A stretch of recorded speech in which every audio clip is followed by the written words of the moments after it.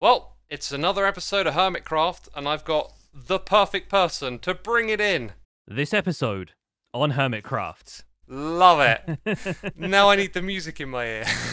yeah, yeah. I, I should, I should start like uh, Impulse has that one button he can press that just Yes. plays the music instantly. I need to have that. Actually, thinking about it, you've got stuff on this server that lets me Yep. do that, right? Yep, we do. I, okay. I, I need you. you have to keep the secret from everybody. Uh-huh. I need you to tell me how the the one mod works where you can get jukeboxes to auto play stuff I will with teach Redstone. you the ways. I will I- teach you I the have ways. I have some revenge to get. yes. Oh, the, the, the wanna play it? Corrales disc. I love it. It's loud. Go oh, for it. it's not playing. Why is it not playing? It says it, it's it gave me an error message. Oh, for real? Oh, you might not It have the said- mod installed. I probably don't know. Oh my god, it's broken! Oh, something else for me to fix. Dang it! blame blame the rift. I'm pretty sure the space time rift has killed all of our uh, our music yeah, mods. that's what it is. But yeah, no, we've got to hook you up with uh, a crazy cool little custom record. You know, with the texture and everything. That's what I'm thinking. Yes, we probably do. We probably do. Anyway, So- uh, so we're we're we're down here starting your episode of Hermitcraft, which Hmm. is uh, going, But you're going gonna have to be- recap later. I probably am. This is gonna be the most confusing time of your life. But the, the, the last six months, the last six weeks has been the, the most confusing time of my life. X. I think this is this is basically an appendix to that. So, I got a little bit of trivia, by the way. How Oh, yeah? many blocks do you think we've dug out here? oh, that's really tough because all right, I'm trying I'm trying to maths it out, but maths was always my worst subject in school. Um, where it's like 130 by 130 area, so that's Yes. already like. Oh, 100 times 100. That's like that's 10,000. Maths on 10,000 camera is never a good idea. It's never good, but multiply that by 12. I want to say roughly 100,000. Wow, uh, you know that's not a bad guess, but uh, y y it's double, two hundred thousand. Really? Yeah. what? Okay. I mean, big Wow, numbers uh, are difficult, right? They sure are, and explains why we've got so many chests in that room, even after I let most of it despawn. You have been busy, my friend. Oh, I sure Well, have. I gave you, You that. you gave me that, and you can see how much of it I've used already. But I have been crafting and crafting Yeah. and stealing some stuff from your resources. But I ran into the roadblocks of needing quartz and Mm. needing iron. And uh, aside from that, and we wanted to swap around a couple of the materials that are going in here because it's just about what you've got yeah. on hand. Basically, this is Um, just the beginning of what we need for Yeah, this yeah. absolute mega project. this David monstrosity. Copperfield the Fifth or something is what my David the Fifth, me. yes, yeah, no, Yeah. that's absolutely what we're calling it. Um, uh, the first one was just me placing copper blocks in a field, and I called it David the Copperfield. Brilliant. Um, but but then the second one was the automated version that I made. The third one I made on Survival Guide. The fourth one I made on Empire Season Two. And now here we are on Fifth. Hermitcraft Season Nine with David the Fifth. It's Yeah. it's more numbers. More numbers. problem, but but uh, yeah, hopefully we can all, all get it straight. And uh, once we built the entire thing, it should be able to age about 450 copper blocks all at once. Considering how much copper I have, that is actually not a lot. Yeah, no, That's what's seen- sad I've about it. I've I've seen the Oh. storage, and you know, one shulker box is 1,700 items or something. So it's like, yeah, Yeah. you're going to be able to do a shulker box in three sessions of this place. How are we kicking this off? Because I've got a magic button that I can press, right? Ah, Is that how you want to start it? Or do you want to explain Um, a little first? There's an entire room of holograms, which we're going to try and fill in with all of these blocks. And we'll have to swap out some of the wood and some of the terracotta for the blocks that you've got handy. this Um, was the magic then we button, by the way. That's what I was getting at. Oh my god, it's Oh, yeah, there we go. so- It so Yeah. just fits. Wow. yes, and it's it's it's so very redstoney, and you can Oh, fly through the innards. Mm-hmm. We have to build all of this. Oh my We do. god. It's an absolute mega project of flying machines. It really is, yeah. Um, but they they are they're really the heart and soul of the entire thing. They're what delivers the copper to the places where it needs to age. I'm thinking we might move it one block down into the floor, and that way, like maybe we can save on a little bit of headroom because you want to be able to walk around on top of this thing to place and break the copper, probably. But then I'm kind of gonna leave it up to you how you get the copper back. Like if you if you want to iterate on this design, if you feel like having extra piston feed tapes and stuff to collect or, or put, place the copper in place is going to be possible, then that's kind of on you. But uh, I'm here to provide the the template for the the big machine. I've got to I've got to fully get my head around it before I make any modifications. The Mhm. only thing that I know that is, that is not terribly exciting, but uh, maybe kind of is, is like this is perfectly aligned. I kind of want to find a way to nicely hook up the rest of my base to the entrance here. Then it will be like a grand hall, and then I will keep going through the other end till it opens up to the other side where the minigame area is. So anyone coming over Ah. from there to get to my base gonna have like a grand entrance, probably lots of copper blocks there, and then they'll come through this hall to get here. So it'll be Wow. like a really epic reason to like come through, rather than it just being a big box like in the middle of nowhere. I love that. So it gets to be like a proper landmark of your base. That's Yes. I'm I'm honored to be quite honest. Like that is a, a great honor to be able to build something like this. So our objective this episode is to build David Copperfield V. And somewhat of a minor update from me, I've put in a bunch of markers, I've started to clear up the materials on the ground and on the walls. But the biggest development here is this. I think I found the way we're going to hook things up, and I'm probably going to turn this tunnel into something waterlogged and decorated at another point in time. But as you'll see, it's leading us somewhere, and that's to the ribcage. Or should I say the spine? I think we're going to make use of this thing again, so you'll be able to fly in from the top all the way up there, and then going down out into the Great Hall. And also, we can reach it from this bit here. So we used to have a nether portal, I ripped it out, and now I guess it's going to be an entrance to the Great Hall.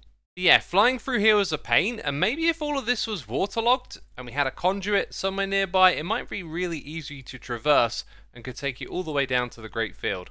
But that, my friends, will be a project for another day. As you can see, I've been busy. Yes, very busy. I've I've Mhm. pitched in just a little bit, but you've placed most of the redstone here, I guess. Yeah, yeah. No, I, I love the um the warped stripped wood around the base of those. It makes them look so much more like official than if they were just floating. So I think that's a really good uh, good addition. It's cool. It kind of looks like every module's sort of at a point. I'm just flying around with the free cam. Yeah. Um. It, it- yeah. It looks like you've just got like all of them up to speed with a certain amount of redstone here. Is that right? Seeing oh my God, and I flew away with the free oh, cam. yeah, you- Oh, you it catches hear me out so much. Sorry. Sorry, yeah, you were saying. No, it's fine. Well, I'm I'm used to being in a group because we're like flying around and doing all this stuff. Yeah. Um. I I'm at the point now where I need to get observers and comparators really. So. Ah. Um, if Tango's able to get online later today, I'm going to deal with him for some quartz. But I have a stream coming up at three, so Yeah. I'm probably going to spend a bit of that time in the Nether just getting some quartz, just in case Tango doesn't have a whole bunch. I'll probably start my stream like around five or six, which is when you usually wrap up. So like, Yeah, if he hasn't pass the turned baton. pass the torch, yeah. Like if you've got like a quartz count and you haven't got it yet, I can I can pick that up and uh, try and Yeah. get the rest of the quartz in my stream. Awesome. I also found the secret component that makes the whole thing work hmm that you failed to tell me about. It's What like that? super. It's just over this way if you want to follow me. You found him. You found the uh, the, random horse. component. The horse. Yes. Um. So there there has been there has been a black horse because obviously I built this in a creative world originally, right? I just copied and pasted it. I took the schematic, and Litematica saves the entities. And so, uh, if, if we if we clicked ignore entities, he goes away. But the I horse see. is really a significant part of this entire operation. He's the It's overseer. Tradition. Yeah. Yeah. I might have to get one down here eventually. It totally startled me though because I was placing blocks and then I sort of moved through it and I was like, "Oh God, there's a horse!" Oh no, wait, that's Yeah, the schematic. the the be- the best part about this was like yeah he's just sat down there and f- from further away it looks like this sort of ominous black shape with eyes and so i got slightly freaked out by it Yeah. but because we've moved the schematic down a block so that this stuff is in the floor the horse has moved down a block as well and so he's just sunk into the floor like this little it's he's like a boat with a figurehead you know yes, I like it. it's so good So next Mm. steps, I guess, is just getting quartz then. Hi, you. oh there you are You said hello as I was literally about to like turn away from the computer, and then I was like, "Oh, quick! Press the buttons, make the things happen." Oh, quick, quick, be be social, be social. yes, No must wo- be no worries. social. I'm now on the layer of this where I have to place all of the comparators, furnaces, and droppers before we get into Ah. pistons and stuff like that. But all of the observers that are they, these are reading a signal that when the flying machine returns with all of the copper, it resets all of the counters. Got so ya. the observer's all facing down into this redstone line. That's what that does. Yeah, they'll get And- they'll get updated and send a signal down. And and yeah, I know from the schematic which I can turn on. Yeah. Ha, yeah, There's I a, uh, see parts of it now. Yeah, there's the The- furnace and the block. That's clever because the comparator can pull through a block from an inventory, so you kind of get a two for one there. That's something that I didn't do in my build on Empires, and then some very like very well-meaning technical folks in my chat said, "You know, you could do that," and I was like, "I will do that next time because that makes my job half Yeah. as laborious." Since you got all the quartz together, I figured I would perhaps work on the entrance, like hooking this area up to the bit up top, make that uh, Yeah. much better. Absolutely. I'll I'll keep working on the engineering. You can focus on aesthetics, and you know this is your base, so I want to make sure that you've uh, you've you've got free creative license to do whatever with this. Hello. It's going well. Hi, Hello. Pixl. Uh, so the uh, the honey blocks and slime blocks are all in place, except for the slime block fly machines. And I'm now putting in the observers that are going to detect when the copper blocks get input and when they age. Wow. And then that's going to be counted off by these two droppers right here. Once all of the counting items, the wooden shovels, are in the bottom dropper, that comparator switches on thanks to the side input signal from Yes, that furnace, that. keeping it locked for the rest of the time. Then that disables this redstone torch in the middle, which is really like the master control thing for the entire circuit. That uh, turns off. It should eject the copper block and hold it there. So while that torch is switched off, this observer doesn't do anything more. Got So ya, when yeah. the uh, when the blocks get collected a, a second time, then uh, it, it shouldn't do anything until all of the dropper counters and stuff have reset. So we're we're most of the way there. I've got to place a lot more observers, and I've got to get these second droppers in place, and then it's just going to be about filling up the furnaces and droppers with items. But beyond that and setting up the fly machines, we're we're almost done. Yeah, you be you be going at this like a madman. Look at I, I Oh. did I did this the the last hour and a half of my stream was just me placing uh comparators and droppers and furnaces. Wow. By the way, uh, I've been eating a couple of Jaffa cakes whilst I've been sat here uh do- doing this and. I now cannot see honey blocks as anything other than Jaffa cake filling.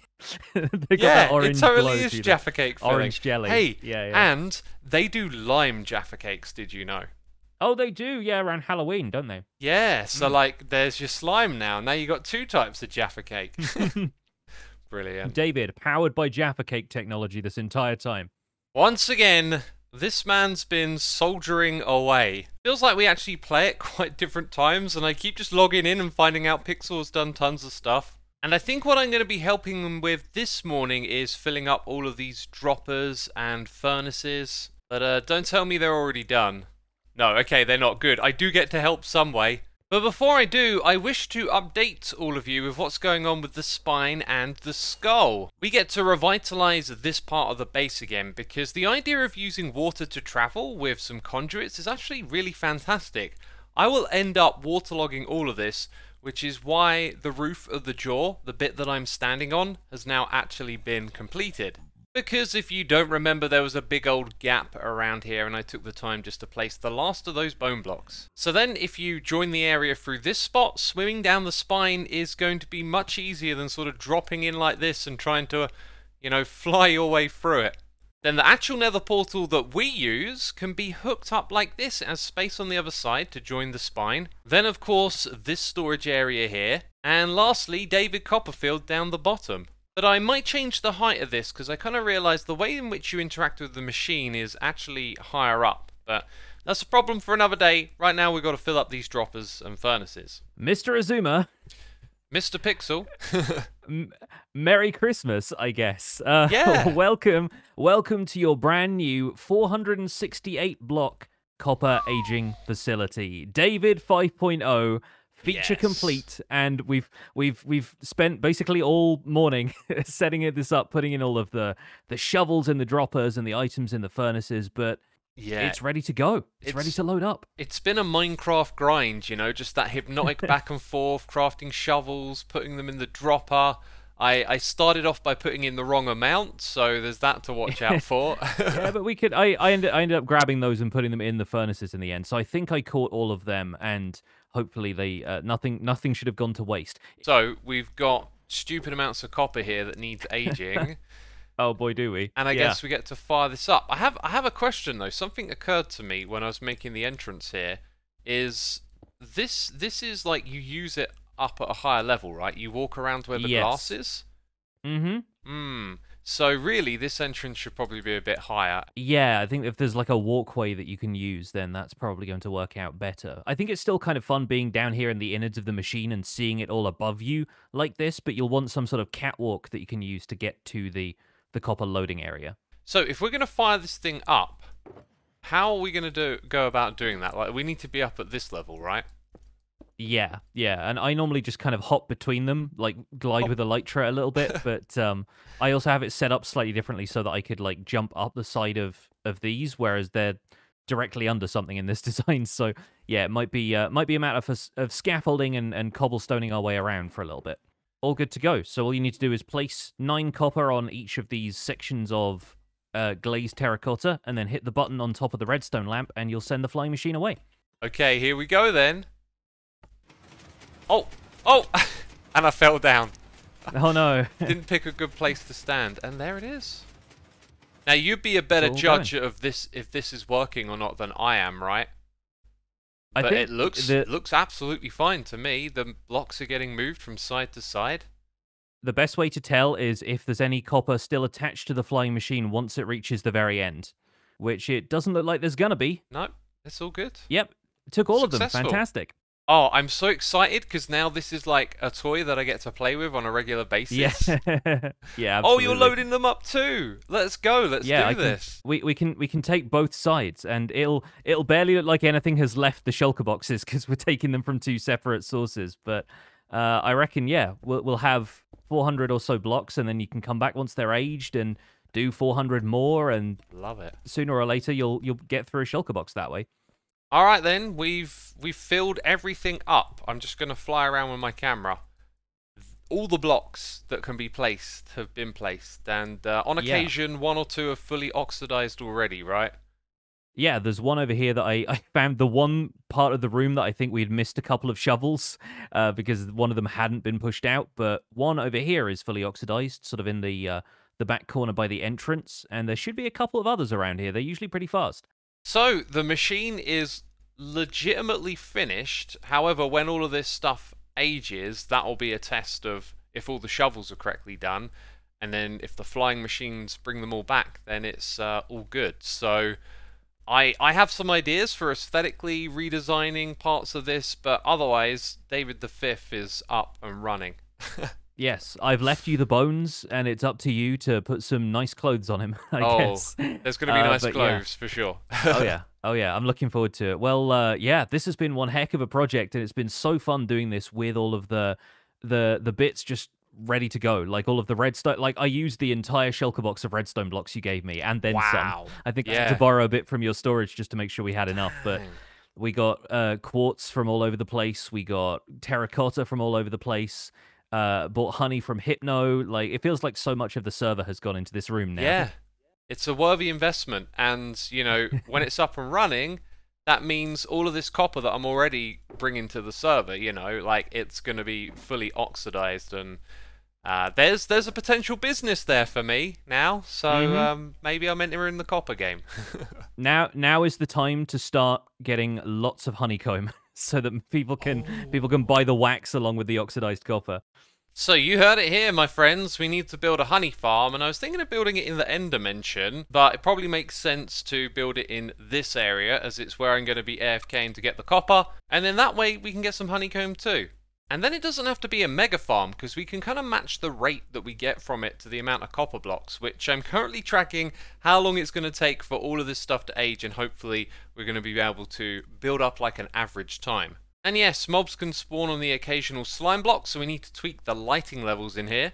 And then I need to build a master walkway and potentially put some more blocks around where you place the copper itself. The project is far from finished. And for this part that's going to link it all together, I need some conduit probes to make traveling through the water nice and safe. And all I have is just this one right here. So we need to find a way to get our hands on some Nautilus shells. We got a bunch of projects lining up now. We've got to open up a copper shop too.